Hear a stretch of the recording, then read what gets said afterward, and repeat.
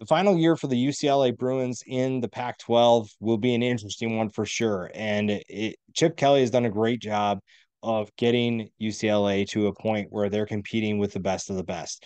And this year shouldn't be an exception. The 10 guys we'll talk about today provide some excitement for the long term future as well as the short term. We're going to start with a more long term option in Dante Moore. Will he win the starting quarterback job? For now, probably not, but he is the future of this program. I think that arm arm strength will be the biggest concern for him from what we've heard from fall fall camp so far, but he is an extremely talented player.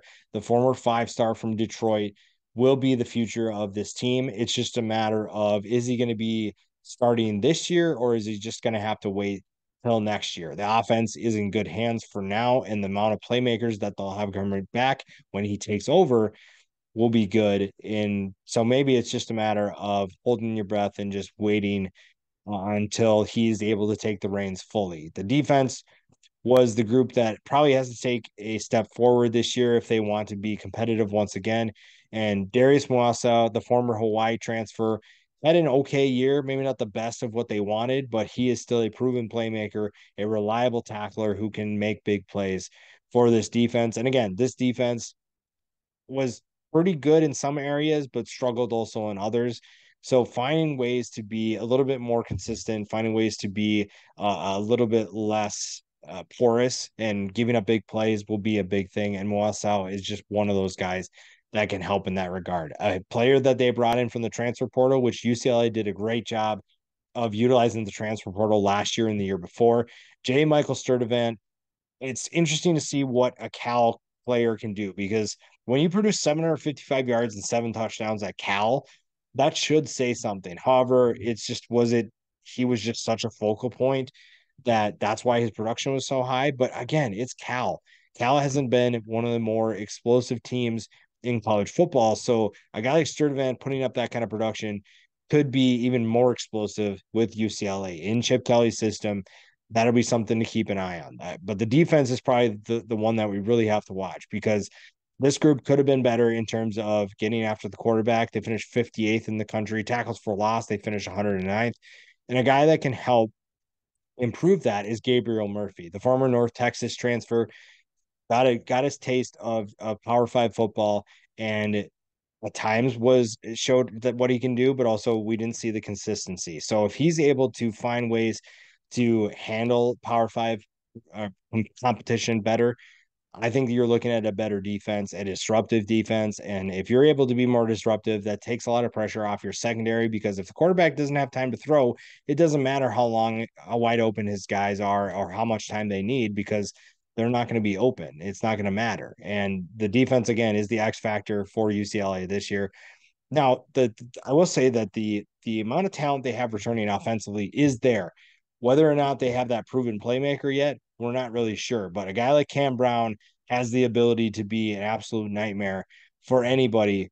And when you look at what Chip Kelly has done, all he's done is produce really explosive offenses in college and really explosive playmakers. And Kam Brown fits that description. If he's able to even take a slight step forward in terms of production, then you're looking at an offense that will be just fine, even without DTR, even without Zach Charbonnet.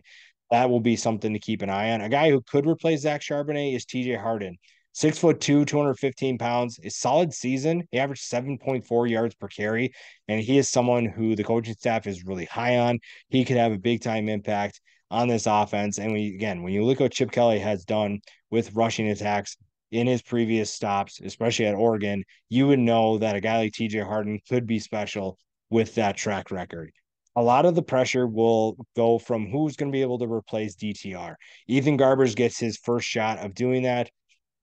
And it's just a matter of how long does he keep the job. With Dante Moore behind you, there's a lot of pressure on you to produce. And Ethan Garbers could be a reliable player. We're not really sure what we're going to get from him, but I know that he's a fun player in terms of potential, in terms of what he could be for this offense. And again, in Chip Kelly's system, at times you just need to be distributor. You need to be a game manager. I know that has a negative connotation to it, but Ethan Garbers has so much talent around him. But at times he just needs to get the ball to his guys and let them do most of the damage. So that's something to keep an eye on.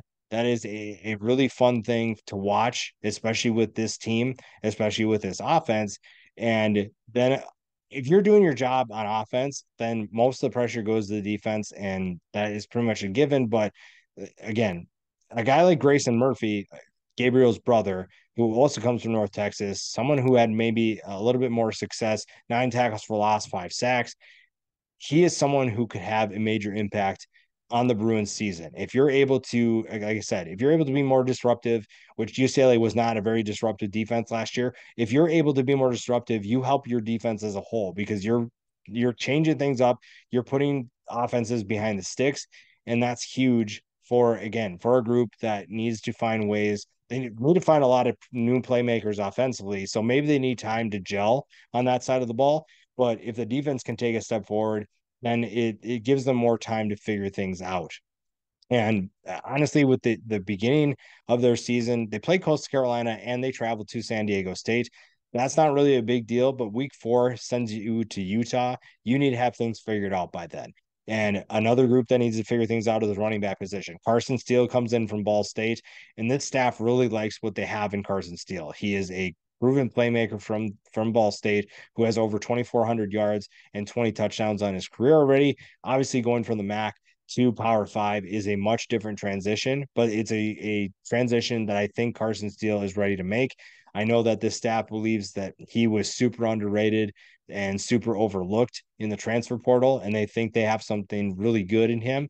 It's just a matter of finding that consistency and finding ways to get him the football out in space and and creating running lanes for him. The defensive side of the ball, like I said, they are the one that needs to take a step forward, but there's plenty of talent returning. Laiatu Latu at six foot five, 265 pounds, finally got to showcase his talent, and he did not waste any time reminding everyone that he was a former four star with a ton of potential.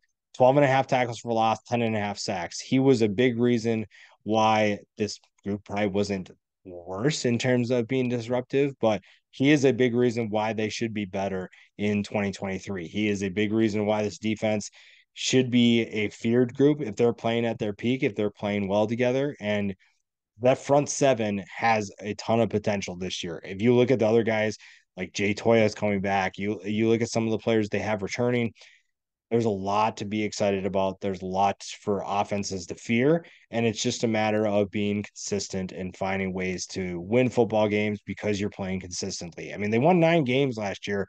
Maybe that's not eh, going to happen this season.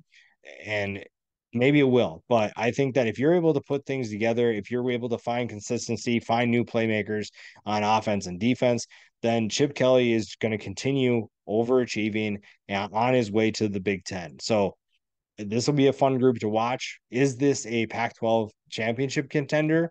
Right now, I'm going to say no, but I think that you're looking at a team that could be there when it's all said and done.